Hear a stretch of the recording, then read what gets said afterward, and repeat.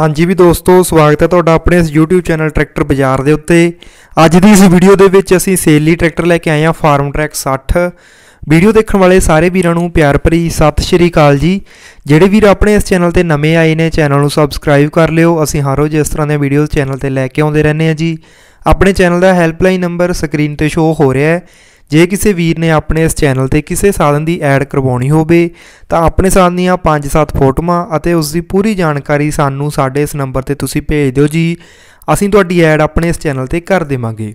ਸੋ ਫੋਟੋਆਂ ਸਕਰੀਨ ਤੇ ਸ਼ੋ ਹੋ ਰਹੀਆਂ ਨੇ ਟਰੈਕਟਰ ਦੀਆਂ ਫਾਰਮ ਟਰੈਕ 60 2004 ਮਾਡਲ ਟਰੈਕਟਰ ਹੈ ਜੀ ਇਹ। ਪੰਜਾਬ ਨੰਬਰ ਟਰੈਕਟਰ ਹੈ ਜੀ। ਚਾਰੋਂ ਟਾਇਰ ਟਰੈਕਟਰ ਦੇ ਐਮਆਰਐਫ ਕੰਪਨੀ ਦੇ ਨਵੇਂ ਟਾਇਰ ਨੇ। ਡਬਲ ਕਲਚ ਇਹ ਟਰੈਕਟਰ ਹੈ। ਸਾਰਾ ਪੇਂਟ ਵਗੈਰਾ, ਸਾਰਾ ਕੁਝ ਓਰੀਜਨਲ ਹੈ ਟਰੈਕਟਰ ਦਾ ਬਾ ਕੇ ਚੈੱਕ ਕਰਕੇ ਖਰੀਦ ਸਕਦੇ ਹੋ। ਇੰਜਨ ਗੇਅਰ ਦਾ ਟਰੈਕਟਰ ਫੁੱਲ ਓਕੇ ਆ। ਬਾਕੀ ਕੰਡੀਸ਼ਨ 100% ਹੈ ਟਰੈਕਟਰ ਦੀ, ਬਹੁਤ ਸੋਹਣਾ ਟਰੈਕਟਰ ਹੈ ਜੀ।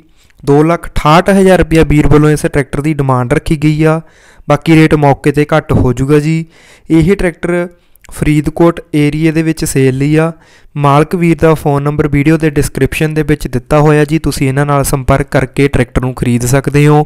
ਵੀਡੀਓ ਚੰਗੀ ਲੱਗੀ, ਵੱਧ ਤੋਂ ਵੱਧ ਵੀਡੀਓ ਨੂੰ ਲਾਈਕ ਕਮੈਂਟ ਸ਼ੇਅਰ ਜ਼ਰੂਰ ਕਰ ਦਿਓ ਜੀ। ਵੀਡੀਓ ਦੇਖਣ ਲਈ, ਧੰਨਵਾਦ ਜੀ।